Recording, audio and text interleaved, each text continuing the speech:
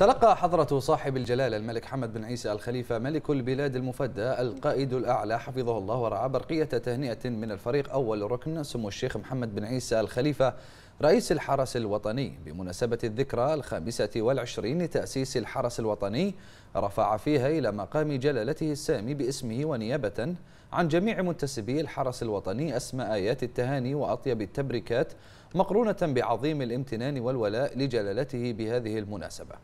وأكد سموه في برقيته أن الحرس الوطني أصبح قوة فاعلة وركيزة أساسية في المنظومة الدفاعية والأمنية للمملكة وذلك بفضل رعاية جلالة الملك المفدى السامية ودعمه رعاه الله اللامحدود له منذ مراحل تأسيسه الأولى.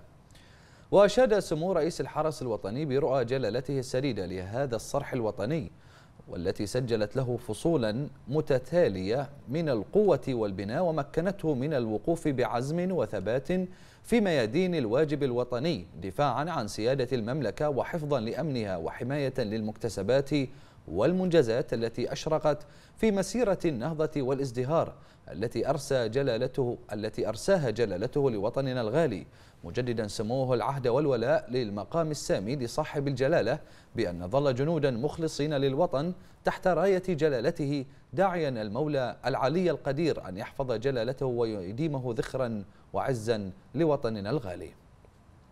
وقد بعث حضرة صاحب الجلالة العاهل المفدى القائد الأعلى حفظه الله ورعاه برقية شكر جوابية إلى سمو رئيس الحرس الوطني. أعرب جلالته فيها عن شكره لسموه على تهانيه بهذه المناسبة. وأشاد جلالة الملك المفدى بالدور البارز لهذا الصرح الوطني الكبير في الدفاع عن الوطن وحماية مكتسباته الحضارية.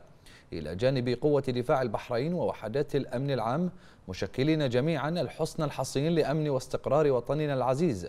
معبرا جلالته عن عظيم اعتزازه بما حققه الحرس الوطني من إنجازات كبيرة منذ إنشائه حيث خطى خطوات ثابتة وكبيرة لتحقيق المزيد من الأمن والاستقرار والذود عن حمى الوطن ومكتسباته ودعم مسيرة الخير والعطاء.